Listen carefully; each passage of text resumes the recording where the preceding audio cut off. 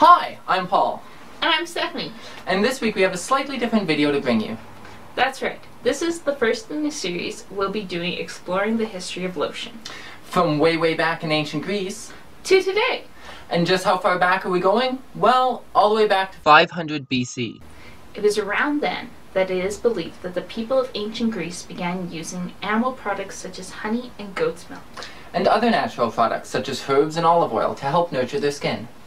And while a focus on skincare may seem like a more modern fascination, it was in fact very important to the people of ancient Greece. That's right. And while advertising budgets were significantly smaller, and the first product endorsements wouldn't come along for another 2,375 years, there was a very cosmetic motivation behind their use of these products.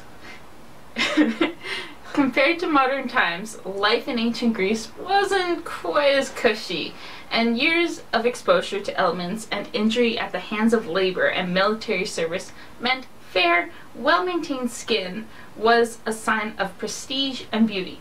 It meant women and men didn't have to work for long hours in the fields to support themselves. They were wealthy enough and their skin was proof of it. It is thought that a common exfoliant at the time was a mixture of sea salt and sugar with olive oil. But of course, the Greek weren't the only ones learning the benefits of early lotion concoctions. That's true.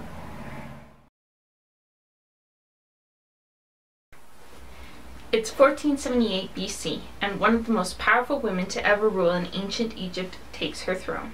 Nearly 1,409 years before the famed Cleopatra was born, a pharaoh named Hatshepsut vastly improved Egypt's trade relations and development.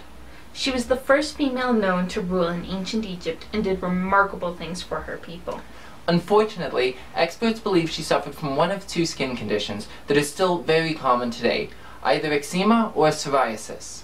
In an effort to treat her ailment, she turned to a highly carcinogenic lotion recipe, which over time spread bone cancer through most of her body and eventually led to her death. While her death cost the Egyptians a great leader, it also spurred rapid improvements in the mixes that were used to treat and protect skin, and by 1400 BC, fine body oils intended to nurture and protect skin were no longer reserved for the affluent. Even those in the lowest positions were paid with a share of body oils.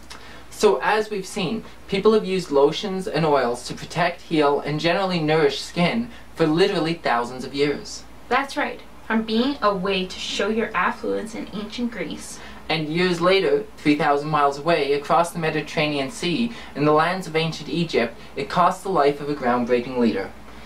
Back here in 2016, we are proud to share our full line of body wash, hand and body buttercream, and our new shaving lotion. And all our products are made with natural ingredients such as coconut oil, shea butter, and raw unfiltered honey. That's right, all of our products are conveniently priced at $14.99 Canadian. And best of all, our products won't cost you the throne of Egypt. It's probably not going to make you a great leader of a nation either. Uh, we don't know that. but it probably won't. Yeah, well, results may vary.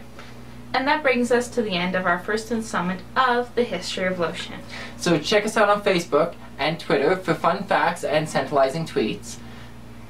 So until next time, say, say no, no, to common sense. sense. Bye. See you later.